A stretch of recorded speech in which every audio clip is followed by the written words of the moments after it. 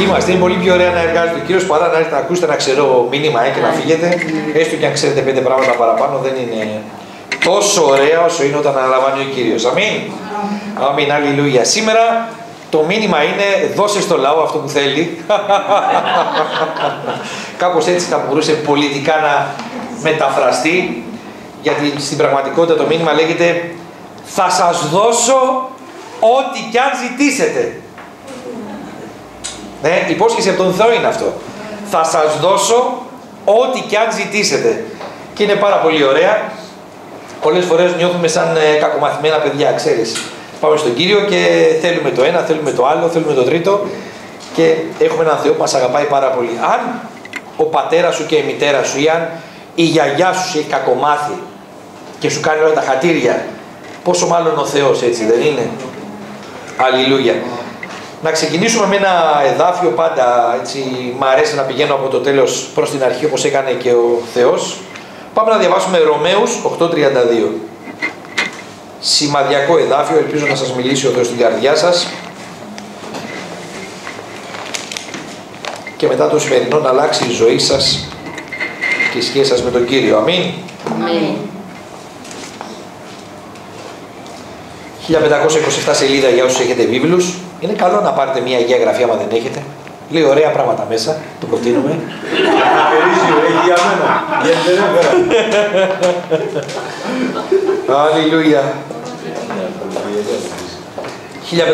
1527 σελίδα λοιπόν. Επειδή αυτός που τον ίδιο του το γιο δεν λυπήθηκε, αλλά παρέδωσε για χάρη σου. Πώς και μαζί με αυτόν δεν θα σου χαρίσει τα πάντα. Ε, το έκανα προσωπικό το εδάφιο, μιλάει για όλους μας. Το έκανα προσωπικό να ξέρεις ότι μιλάει για σένα. Αν ο Θεός δεν λυπήθηκε να δώσει το Χριστό για σένα, ναι.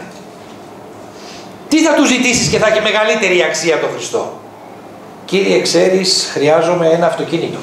Αυτοκίνητο με τίποτα. Το Χριστό να τον στείλω, να τον σκοτώσω, αλλά αυτοκίνητο. Πώς είναι δυνατόν; Βλέπεις την αξία. Ε; Κύριε, θέλω ένα ποδήλατο. Ποδήλατο δεν μπορώ με τίποτα. Ξέχνα το ποδήλατο. Έστειλα το Χριστό, στέγνωσε. Η αποθήκη του ουρανού δεν έχει τίποτα άλλο. Όχι, ο λόγος του Θεού λέει, αν εξ αρχής έδωσε το καλύτερο για σένα, ναι.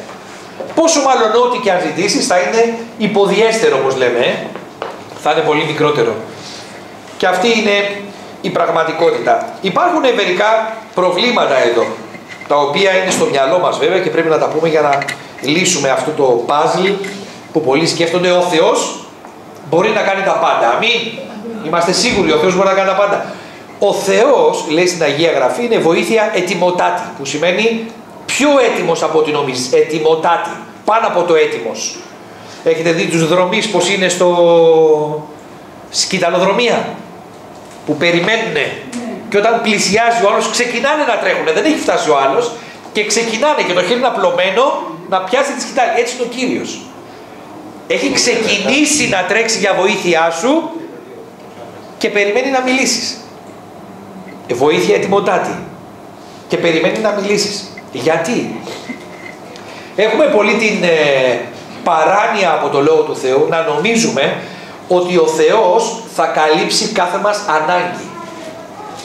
Το οποίο είναι ένα ψέμα. Ο Θεός δεν καλύπτει ανάγκες.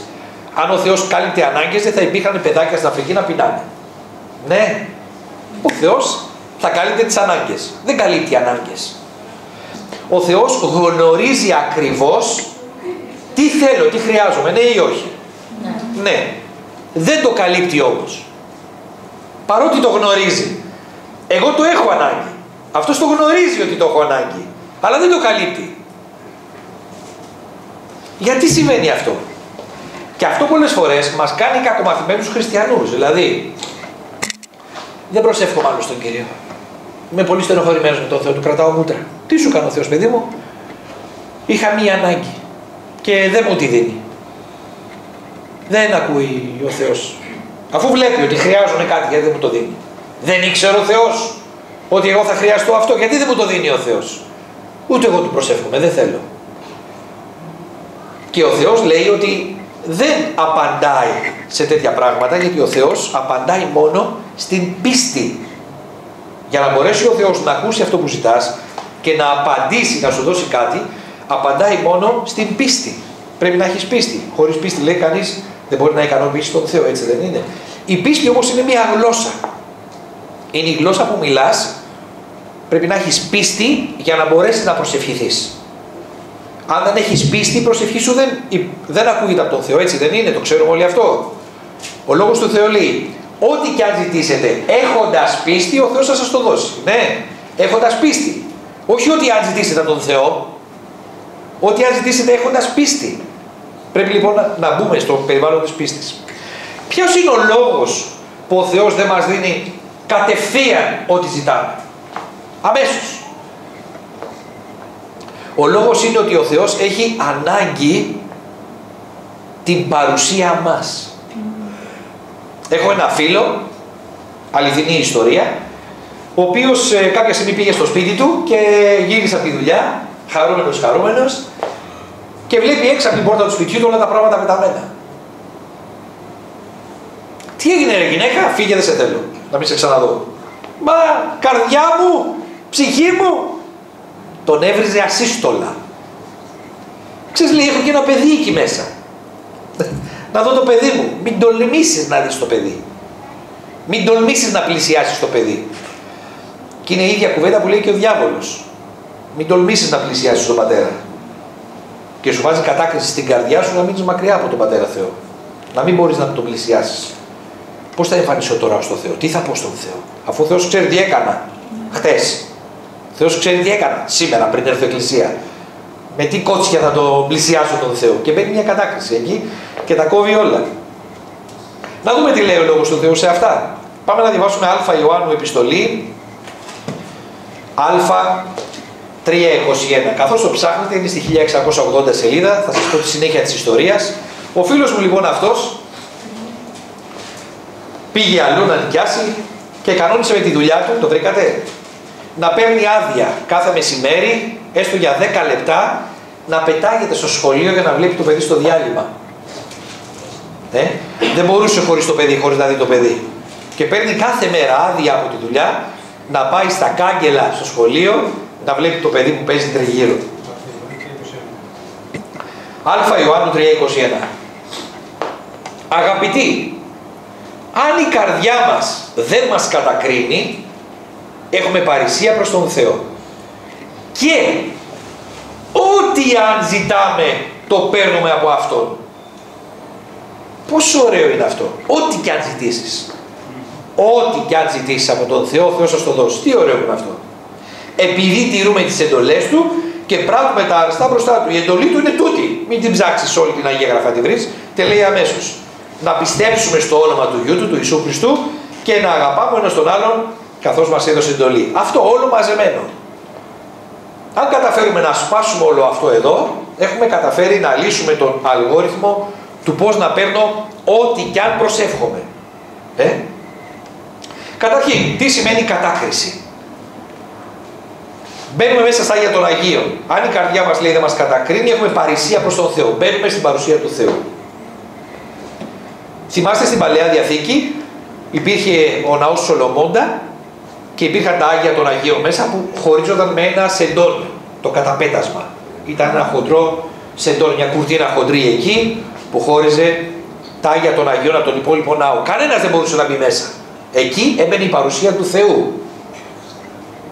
Μια φορά το χρόνο έμπαινε ο αρχιερέας, ο αρχηγός δηλαδή όλων των ιερέων και είχε όλο το χρόνο να προετοιμαστεί για να συναντήσει τον Κύριο. Παρ' όλα αυτά η στολή του είχε καμπανάκια απάνω και ένα σκηνή στη μέση.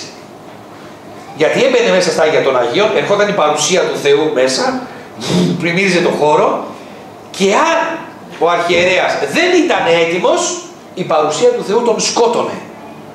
Οπότε έπεφτε κάτω, ακουγόντουσαν τα καμπανάκια και οι άλλοι απ' έξω τραβάγανε το πτώμα, είχε πέσει νεκρός στην παρουσία του Θεού και το βγάζαν έξω.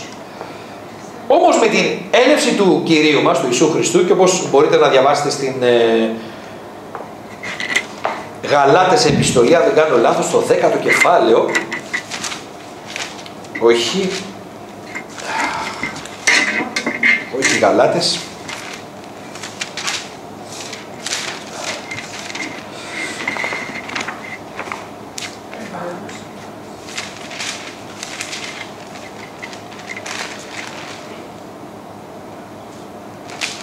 Εβραίους στο 10ο κεφάλαιο δεν θα πάμε αυτή τη στιγμή εκεί αλλά λέει ότι ακριβώς ο Ιησούς Χριστός έκανε το δικό του σώμα παραπέτασμα έσκησε αυτό το κάλυμα που υπήρχε στα Άγια των Αγίων και πλέον είναι αυτός η είσοδος για τα Άγια των Αγίων.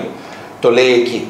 Τι σημαίνει αυτό, ότι ο καθένας μπορεί να μπει πλέον στα Άγια των Αγίων. Ο δρόμος είναι ελεύθερος μέσα από τον Ιησού Χριστό. Αμήν. Λέει εδώ λοιπόν, το μόνο που σε ενοχλεί για να μπεις στην παρουσία του Θεού είναι η καρδιά σου. Δεν μπορεί να σε ενοχλήσει κάτι άλλο. Η καρδιά σου θα πρέπει να είναι ελεύθερη. Πώς η καρδιά δεν μας κατακρίνει, τακτοποιούμε την καρδιά μας. Έχει το διάβολος και σου λέει: Ξέρεις τι έκανες τώρα, πάω προσευχηθεί. Τακτοποίησε την καρδιά σου με τον Θεό. Μην αφήσεις την καρδιά σου να σε κατακρίνει. Πήγαινε να ζητήσει συγγνώμη, μετανόησε. Ε; Και να είμαστε γρήγοροι σε αυτά τα πράγματα. Αν τακτοποιήσεις την καρδιά σου, μπορείς να μπεις μέσα στα για τον Αγίο, στην παρουσία του Θεού. Και λέει ο, ο, ο λόγος του Θεού: Αγαπάμε ένας τον άλλον. Αγαπάς τον Ιησού Χριστό. Ναι, ό,τι και αν ζητήσεις είναι δικό σου. Ό,τι και αν ζητήσεις είναι δικό σου. Και ο Θεός θέλει πραγματικά να απαντάει κάθε μας προσευχή, να μας δίνει ό,τι έχουμε ανάγκη. Στην Ιακώβου επιστολή, στο 4 κεφάλαιο και 2 εδάφιο, 1660 σελίδα, έχει ένα πολύ δυνατό εδάφιο, 1660, Ιακώβου 4, 2.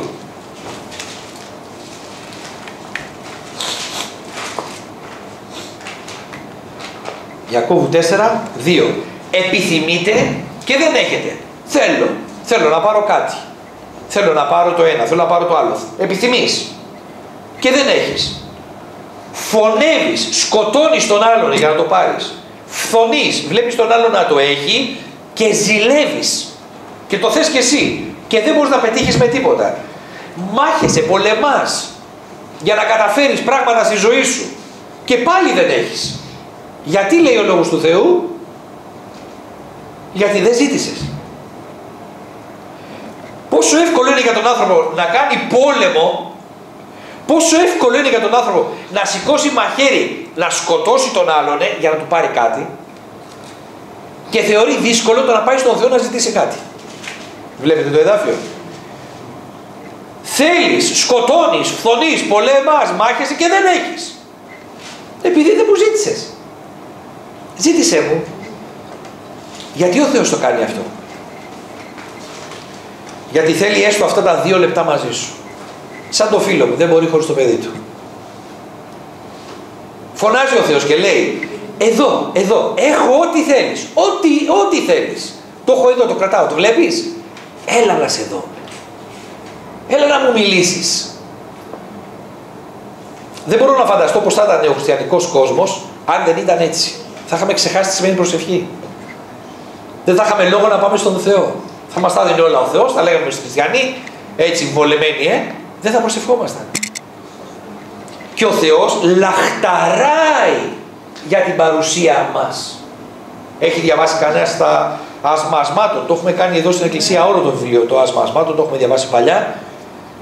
Το άσμα ασμάτων τι είναι; Ένα ερωτικό βιβλίο όπου τρέχει ο Θεός να σε αγκαλιάσει, τρέχει να σε συναντήσει, τρέχει να σου τραγουδήσει, να σε κρατήσει αγκαλιά, να μετρήσει τα μαλλιά σου, να, να, να δείτε τα άστρα μαζί αγκαλιά. Ε, ένα ερωτικό τραγούδι, ένα ερωτικό βιβλίο. Και έρχεται και λέει, έχω ό,τι θέλεις, σε παρακαλώ, έλα να σε δω για να σου το δώσω. Ό,τι αν ζητήσεις, έλα, Φτιάξει την καρδιά σου να είσαι σίγουρος να μπορούμε να βρεθούμε και ό,τι αν ζητήσεις. Θα στο δώσω. Αλλά έλα. Και το μυστικό είναι έλα. Δεν είναι Κύριε έλα και δώσε μου, είναι πήγαινε στην παρουσία του Θεού. Και θέλω έτσι με το σημερινό μήνυμα να σας δώσω αυτό το ένασμα να πηγαίνετε στην προσευχή. Να μένετε στην παρουσία του Θεού. Λαχταράει να σας συναντήσει. Λέει στον Ιωάννη Κατά Ιωάννη Ευαγγέλιο 15 κεφάλαιο 7 εδάφιο. 1452 σελίδα.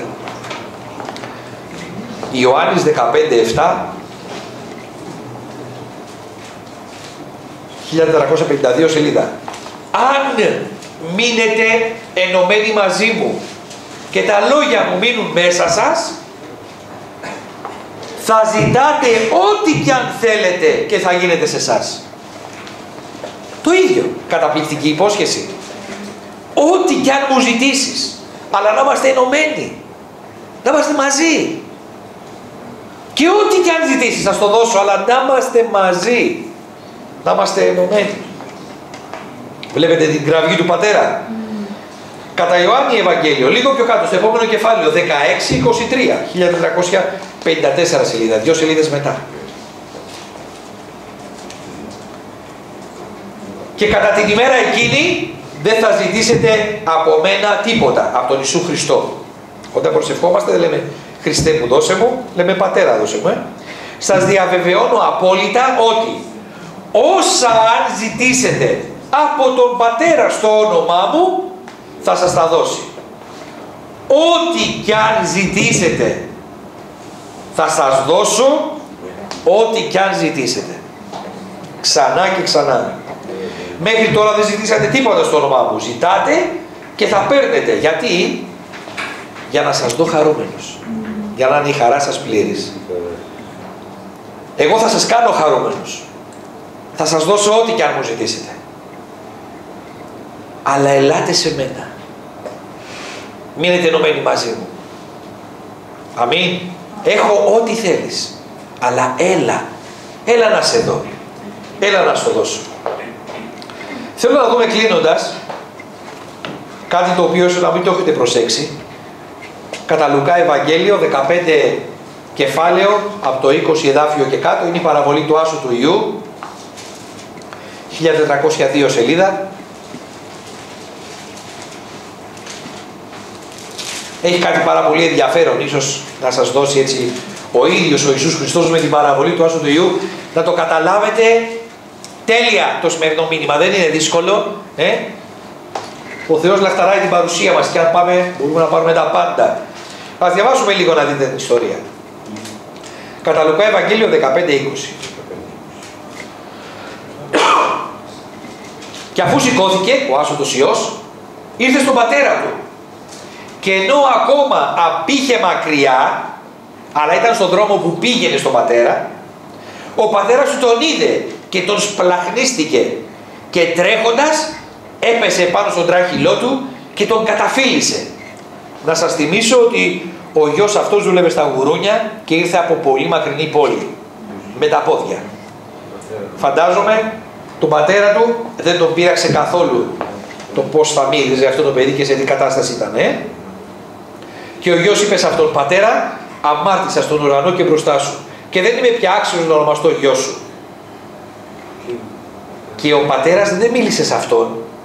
Ο πατέρας μίλησε τριγύρω και λέει «Δίστε τον, ποδίστε τον, στολίστε τον, ταΐστε τον». Το βλέπετε; Το καλύτερο όμως χάρη, το συντευτό, σφάχτε το, να φάμε, να χαρούμε. Αυτός ο γιος ήταν νεκρός και ξανάζησε. Και ήταν χαμένος και βρέθηκε. Και άρχισαν να χαίρονται. Και η ερώτησή μου είναι η εξής. Αυτός ο πατέρας που το σπλαχνίστηκε το παιδί, τώρα το σπλαχνίστηκε. Δηλαδή την προηγούμενη εβδομάδα, πριν έρθει το παιδί, δεν ήταν παιδί του. Δεν σκεφτόταν τι κάνει, τι τρώει αυτό το παιδί εκεί. Ε; η απουσία του παιδιού από την παρουσία του πατέρα εμπόδιζε το να έχει το παιδί πρόσβαση στα πάντα. Όταν το παιδί βρώμικο, ελεηνό, πεινασμένο, χτυπημένο, ταλαιπωρημένο μπήκε στην παρουσία του πατέρα, δεν του ζητήθηκε τίποτα. Με το που εισήλθε στην παρουσία του πατέρα, ο πατέρας είπε, ντύστε τον, ποδίστε τον, στολίστε τον, ταΐστε τον. Βάλτε και ένα Στολίστε το. Το βλέπετε; Τι έκανε αυτό το παιδί για να ταξίζει; Τίποτα. Μπήκε στην παρουσία. Το βλέπετε; Σφάχτε το καλύτερο. Δώστε τα στολίδια. Τιμάστε τη στολή την πρώτη. Τι καλύτερο έχουμε για αυτόν. Μα δεν το βλέπεις πως είναι. Αξίζει. Δεν με νοιάζει αν αξίζεις. Με νοιάζει σήμερα να σου μείνει στο μυαλό. Μπε όπως είσαι στην παρουσία του Θεού. Τι σε ενοχλεί από το να μπει στην παρουσία του Θεού, η κατάκριση της καρδιάς σου. Το παιδί αυτό σκεφτότανε. Είμαι βρώμικος, είμαι λεϊνό. Πήρα την περιουσία μου, έφυγα. Τι θα λένε για μένα; Όλα αυτά ήταν μέσα στο μυαλό του. Η πραγματική κατάσταση δεν ήταν έτσι. Η πραγματική κατάσταση έλεγε ο πατέρας. Έλα παιδί μου να σε ευλογήσω. Έλα. Πού να είναι το παιδί μου; Γιατί να είναι μακριά μου; Άλλα σκεφτόταν ο ένας. Άλλη ήταν η πραγματική κατάσταση. Ο Θεός θέλει να σου δώσει τα πάντα, θα σου δώσει τα πάντα χωρίς όρο, αν απλά μπεις στην παρουσία Του. Η σκέψη σου, η καρδιά σου σε κρατάει από το να μπεις στην παρουσία του Θεού. Γι' αυτό και διαβάσαμε ότι ο Θεός είπε τακτοποιεί την καρδιά σου και έλα γρήγορα. Δείτε την ιστορία ολόκληρη. Όσο το, με τον Άσο το Υιό, όσο το παιδί αυτό ήταν στην παρουσία του Θεού, είχε πρόσβαση στα πάντα. Χωρίς όριο, χωρίς νούμερο. Ε; Όταν πήρε ένα κομμάτι της παρουσίας πλούσιος και έφυγε από την παρουσία του Θεού, αυτό το κομμάτι της παρουσίας του έσβηνε. Μόνο μειωνότανε. Όσο ήταν με τον πατέρα δεν είχε όριο, δεν υπήρχε μείωση. Όταν έφυγε από την παρουσία του πατέρα, με τον πλούτο του μαζί, αυτός ο πλούτος μειωνότανε, φθυρότανε καθημερινά, μέχρι που έφτασε στο μηδέν. Γυρνώντας το παιδί στον πατέρα, ο πλούτος αποκαταστάθηκε εκείνη τη στιγμή χωρίς δικαιολογίες, χωρίς λόγια. Μόνο και μόνο από τη λαχτάρα του πατέρα να σε δει. Τίποτα άλλο δεν χρειαζόταν. Έλα σε μένα. Ας μείνουμε ενωμένοι. Ό,τι μου ζητήσεις θα στο δώσω, αλλά πού θα ζητήσεις; Στην προσευχή δεν θα το ζητήσεις. Έλα, δύο λεπτά, πέντε λεπτά, δέκα λεπτά να σε δω. Έλα στην παρουσία μου. Και δεν υπάρχει όριο στο τι μπορεί να ζητήσει από τον Θεό. Αμήν. Αμήν. Ο λόγος του Θεού είναι απλός. Οι υποσχέσεις είναι απλές. Αν υπήρχε μία λέξη που θα μπορούσαμε να χαρακτηρίσουμε το Ευαγγέλιο είναι απλό. Το μυαλό μας κάνει τα πράγματα πολύπλοκα πολλές φορές. Ψάχνουμε δικαιολογίες, γιατί δεν μπορώ, γιατί δεν θέλω, τι με ενοχλεί, τι με εμποδίζει. Κάτι άλλο θα κρύβεται από εκεί πίσω. Κι όμως ελπίζω αυτή η παραβολή του Άσου του Ιού να σας ξεδίπλωσε την πραγματικότητα. Είναι από τα χίλια του ίδιου του Ιησού Χριστού. Τίποτα δεν μπορείς να κάνεις για να ταξίζεις. Τίποτα. Και δεν χρειάζεται να πολεμήσεις γι' αυτό. Απλά έλα στην παρουσία του Θεού. Λαχταράει να σε δει. Πριν μιλήσεις, πριν πεις κάτι, ο Θεός θα δώσει εντολή να αποκατασταθούν τα πάντα σε σένα. Ναι. Καλύτερα από ήταν πριν. Γλέντι μεγάλο, χαρά μεγάλη. Αμήν. Αμήν. Ερωτήσεις που έχετε. Κάτι που θέλετε να ρωτήσετε. Ρήμα χάρηκες βλέπω. Και ο Θεός είπε Η Ελένη προσεύχεται για δύναμη. Ο Γιάννης προσεύχεται για τα οικονομικά.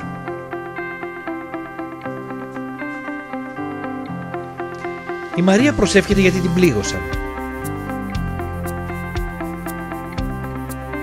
Ο Βασίλης προσεύχεται για αληθινή χαρά. Η Τζέννη προσεύχεται για κατεύθυνση.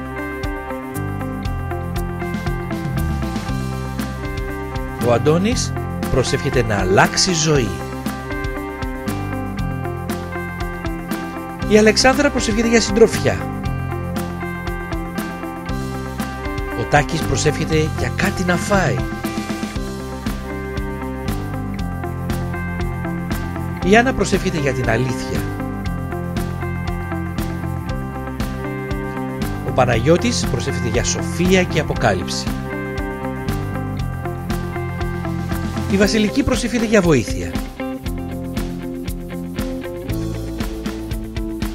Η Νίκη προσεύχεται για νέους φίλους. Και όλοι μαζί προσεύχονται για μια εκκλησία που νοιάζεται. Επειδή ο Θεός ακούει και απαντάει προσευχές.